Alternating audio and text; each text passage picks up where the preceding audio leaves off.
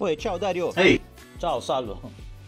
Che cos'è quella faccia? Che succede? Ascolta, ti va se ci vediamo in officina? Voglio farti vedere cosa ho scoperto su un Alfa Romeo, un Alfa Romeo tonale per un problema sulla retrocamera, che quando la innestiamo diventa tutto il monitor blu.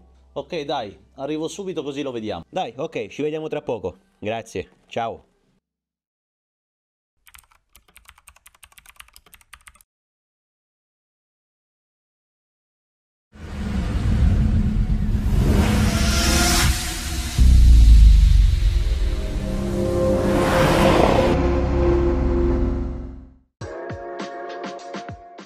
Salvatore, ciao. Buongiorno a tutti, sono Salvatore dall'officina De Gregorio. Oggi andiamo ad osservare questo caso di Alfa Romeo tonale con problematica di funzione della retrocamera, nel senso che retrocamera funzionante ma con display totalmente blu, quindi che non mostra l'immagine. Siamo partiti dalla parte posteriore ad osservare tutto l'impianto elettrico, quindi dalla retrocamera stessa in sé per sé a tutto il cablaggio, vedete la macchina è tutta quanta smontata per controllare le continuità dei fili. Siamo arrivati dalla retrocamera a questo passaggio qui, che è praticamente il collegamento con i vari connettori della retrocamera che entrano all'interno dell'abitacolo, scendono e vanno sulla parte laterale destra della vettura fino ad arrivare all'anteriore. Venite a vedere. Siamo arrivati da quest'altro lato dove abbiamo fatto che continuare a eh, cercare eh, di capire se ci fosse un cortocircuito o un'interruzione di cablaggio abbiamo, siamo andati a controllare tutto l'impianto elettrico con i vari connettori. In questo caso questo qui è quello lì che eh, parte dal posteriore arriva all'anteriore e porta quindi trasmette i dati per l'immagine al, al monitor centrale. Il connettore il cablaggio continua fino a salire fa questo passaggio qui e scende praticamente sotto i nostri piedi al lato guida. Andiamo a vedere.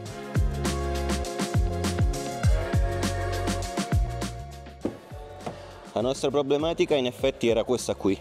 Io vado ad accendere il quadro, vado ad inserire la retrocamera e il display compare totalmente blu. Ok, le problematiche eh, potevano, eh, la, potevano, essere due, o un'interruzione di cablaggio o un cortocircuito che può essere al cablaggio stesso oppure alla centralina che gestisce la retrocamera.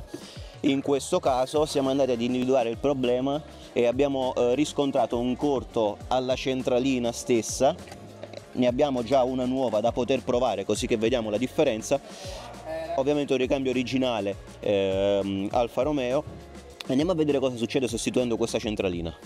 Allora, adesso andiamo a fare una prova per vedere il risultato collegandola in modo volante, quindi non fissandola al, al, al telaio del cruscotto e vediamo un attimino la differenza.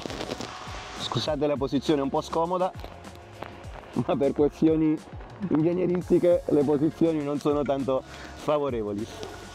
Allora,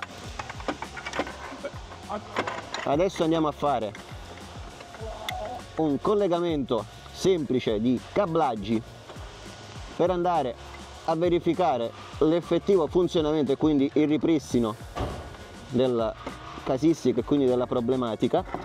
Ok l'abbiamo poggiata.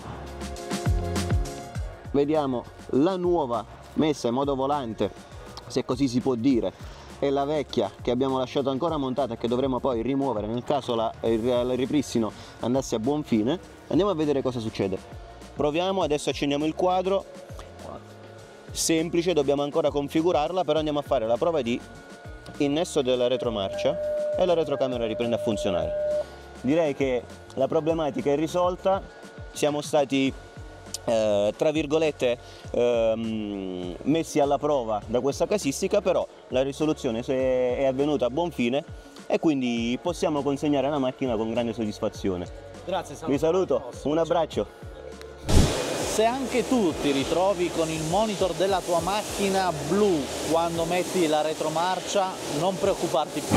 Chiama subito il nostro numero fisso per fissare un appuntamento con i nostri esperti. Ci troviamo qui, in via Centallo 11 a Torino. Valuteremo senza impegno il danno e lo ripristineremo in un baleno. Affidati a noi di De Gregorio Group per una soluzione rapida ed efficace. Alla prossima, ciao!